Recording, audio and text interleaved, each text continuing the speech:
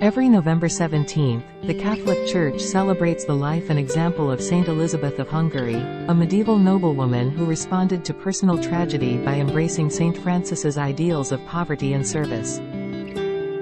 Elizabeth was born in Hungary in the castle of Sárospatak on the 7th of July 1207, the daughter of King Andrew II of Hungary and Gertrude of Merania. Her ancestry included many notable figures of European royalty going back as far as Vladimir the Great of the Kievan Rus. Elizabeth was brought to the court of Thuringia in central Germany, to be betrothed to Louis IV, Landgrave of Thuringia, also known as Ludwig IV. She was raised by the Thuringian court to become familiar with the local language and culture. In 1221, at the age of 14, Elizabeth married Louis, the same year he was enthroned as Landgrave. While taking bread to the poor in secret, she met her husband Louis at a hunting party. To quell suspicions that she was stealing treasure from the castle, Louis asked her to reveal what was hidden under her cloak. At that moment, her cloak fell open and a vision of white and red roses could be seen. Hers is one of many miracles that associate Christian saints with roses.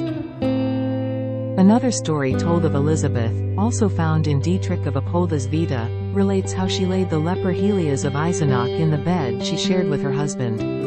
Her mother-in-law, who was horrified, told this immediately to Louis on his return. When Louis removed the bedclothes in great indignation, at that instant, Almighty God opened the eyes of his soul, and instead of a leper he saw the figure of Christ crucified stretched upon the bed. Upon learning that the Franciscan friars arrived in 1223, Elizabeth learned about the ideals of Francis of Assisi and started to live them. His husband, Louis, allowed his wife's charitable efforts, believing that the distribution of his wealth to the poor would bring eternal reward. During this time, Elizabeth appointed priest Conrad von Marburg as her confessor.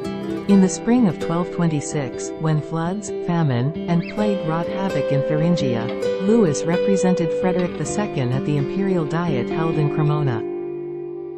Unfortunately, Louis died of a fever in Otranto, Italy on the 11th of September 1227 en route to join the Sixth Crusade, just a few weeks before the birth of her daughter Gertrude. After Louis's death, his brother, Henry Raspe, assumed the regency during the minority of Elizabeth's eldest child, Herman. After this, Elizabeth made solemn vows similar to those of a nun which included celibacy, and complete obedience to Conrad as her confessor and spiritual director. While the treatment she received was extremely harsh including punishments, physical beatings, and sending away her three children to force her to remarry, Elizabeth held fast to her vow. Elizabeth built a hospital at Marburg for the poor and the sick with the money from her dowry, where she and her companions cared for them. In 1231, Elizabeth died in Marburg at the age of 24. Soon after, healing miracles were reported at her grave. By papal command, examinations were held of those who had been healed between August 1232 and January 1235. The results of those examinations were supplemented by a brief vita of the saint-to-be, and together with the testimony of Elizabeth's handmaidens and companions, proved sufficient reason for canonization. She was canonized by Pope Gregory IX on the 24th of May 1235. For more information about every saints and their feast day, please like and subscribe to our channel, House of Prayers for Everyone.